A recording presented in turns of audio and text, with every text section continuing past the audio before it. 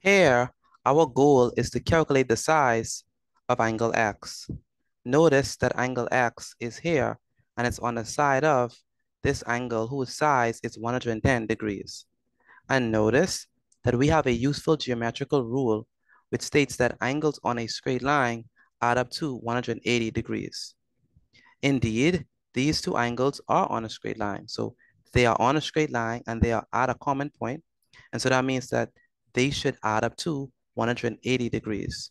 And so that means that x plus 110 degrees add up together to give us 180 degrees. And so if we want to if, if we want to determine the size of angle x, we're going to subtract. We're going to say 180 minus 110, and that gives us 70. And so that means that angle x is 70 degrees. Next, our goal is to determine the size of angle y. We already know from the previous question that angle x is 70 degrees. And so we consider this useful geometric rule which states that two angles in an isosceles triangle are equal. And note, we have another geometrical rule which states that angles in a triangle add up to 180 degrees. These two rules are going to be useful in helping us to find out the value or the size of angle y.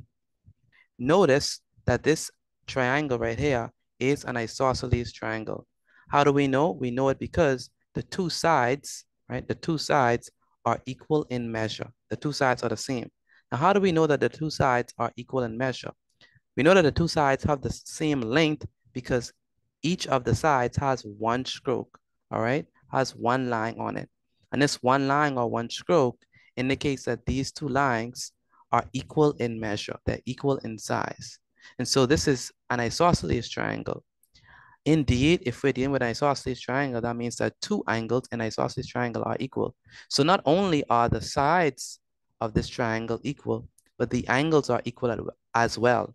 And so that means that if this angle is 70 degrees, that means that this angle right here must also be 70 degrees.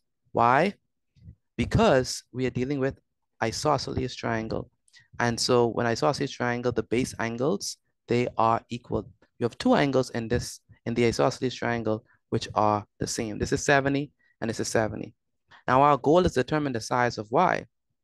We know that this is 70, we know that this is 70, and, and we know that this is y. And we know that if we add up all of these according to our second geometrical rule, it states that angles in a triangle add up to 180. So if we were to add up all these together, they should give us 180 degrees. And so if we look at angle y, what we're gonna do is we're gonna first add the 70 and the 70, and that gives us 140, and then we're gonna subtract 180 and 140. So we subtract 180 and 140. When we subtract, we get that y is equal to 40 degrees.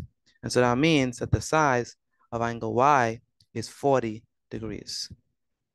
Next, our goal is to determine the size of angle z. Notice this, notice this geometrical rule. It states that two angles in an isosceles triangle are equal. Next rule states that angles in a triangle add up to 180 degrees. These two rules are going to be useful in helping us to determine the size of angle z.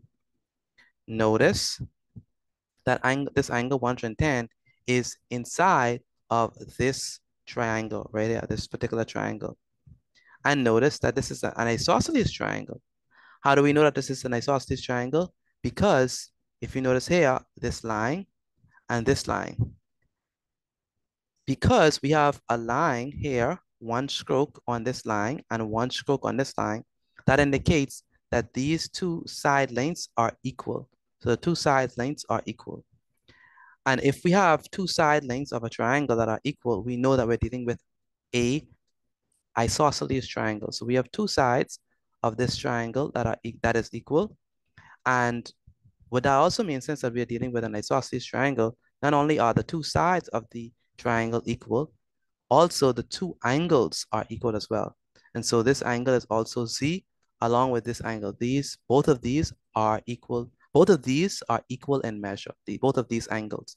So not only are the side lengths equal, but the angles are also equal. And so if this is z, this must be also z. And so in order to determine the size of angle z, we're going to take 110 and subtract it from 180. We're subtracting from 180 because angles in a quadrilateral add up to 180 degrees. And so we have 110, and so we have 180 minus 110. Notice that 180 minus 110 is definitely 70 degrees. And because we have two angles here, we, are, we have to split the 70 degrees. And so we have to split 70 degrees into two equal halves so that this could have and this could have and they could have the equal amount. And so we have 70 divided by 2 and 70 divided by 2 is 35. And so that means that angle Z is equal to 35 degrees. And this is because two angles in an isosceles triangle are equal and angles in a triangle add up to 180 degrees. And so angle Z is equal to 35 degrees.